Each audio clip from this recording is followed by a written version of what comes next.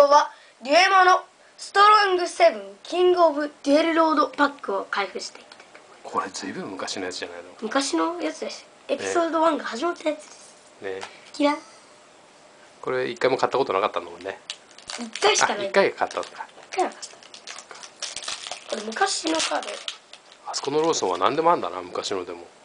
母なる紋章。闇の惨事パクリオおクイーンアルカリアスジャリットソルハバキコダマンマおおーこれ面白い。これベリーリアじゃないですか。そうベリーエアだな。これね。これ7枚も入ってんの？そう。あだから高いんだねこのパックね。言ったじゃん。そうかそうか。エピソード1ってちゃんと書いてありますはい。2パック目。まあこれは一緒だから2パック目と言ってもいいのでしょ。う今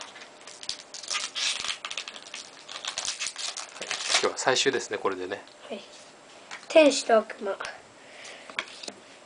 ローズキャッスル。テンテンテンテン これ高いのに全部全部さ何もうざい。ノーマルカードばっかりじゃん。うざいこれ。持ってないのあったの？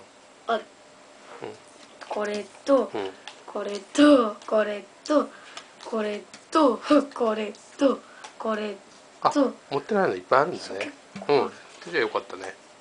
うん。炎症爆裂弾マサと切り込み隊長マサはい。とはい。では今回はえっと今日はこれでしたね。キングオブデュエルロードストロングセブンパックを開けてみました。はい。それでは動画を締めてください。さよなら